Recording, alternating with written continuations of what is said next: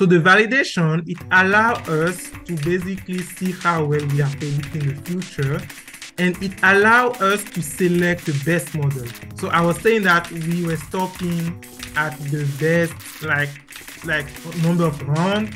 We were early stopping all those were using the validation so we can know how well it's doing and it allows basically to like if we wanted to also use random forest we can compare random forest and, and gradient boosting and pick the best one using the validation but the test set is really like now the one that we, we can see how well like we can tell like the finance guy we we should never use the like the test set for anything not even to validate our model not even to select the best.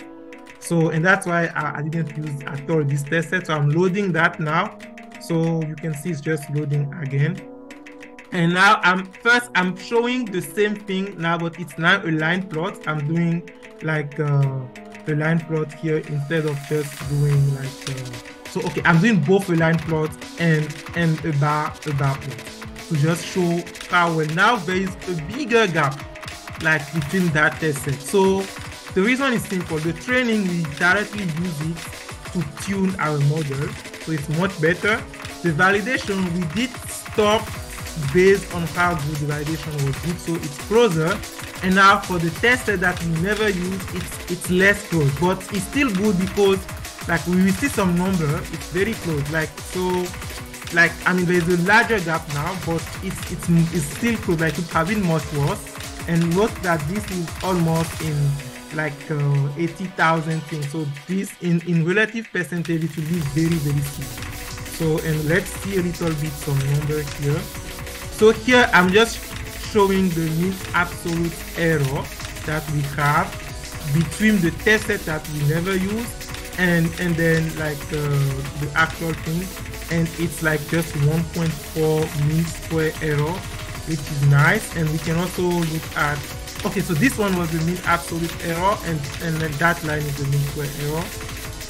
And I mean, maybe you, you are still not grasping how good it is. So I'm showing the mean absolute percentage error. So this is to say, if you have the true value in terms of percentage, how much off you are, and that's just 3.4 percent. So we are accurate, like like so. Once you have your model, if you say 10,000 sales that you are making, like we know the true value is just within 3% of 10,000. So that's what I'm showing here, the mean absolute percentage error, which which is really good. 3%, like it, it, it's really nice to have something like that accurate. Okay, so that's basically for the model.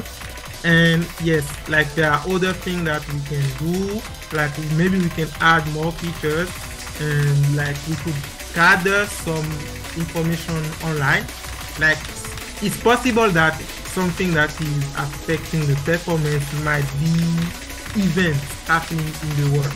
Like maybe there is a marathon happening like uh, in a in a month maybe there are some specific uh, like uh, events and based on those events like maybe the sales can increase or not. So you could gather those those like events from online, maybe on Twitter or Google search, and you, can add them as features to improve your model performance. And like you can also do more hyper parameter optimization. So one thing that like at, there there are other parameters that you can optimize. Like one thing was this number of estimator, but I really pick a large number here and just use early stopping, which is another way to do like to, to optimize it. So like but you could you could have tried to just find the best number yourself like you like you try different values to see which one gives the best.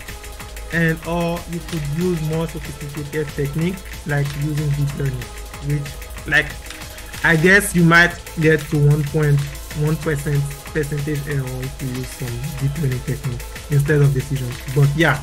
So those are all the things that you can do.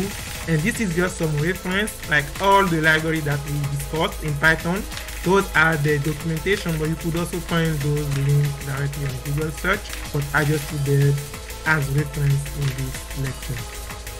So in, in conclusion we have seen that XGBoost is a machine learning library that implements gradient boosting.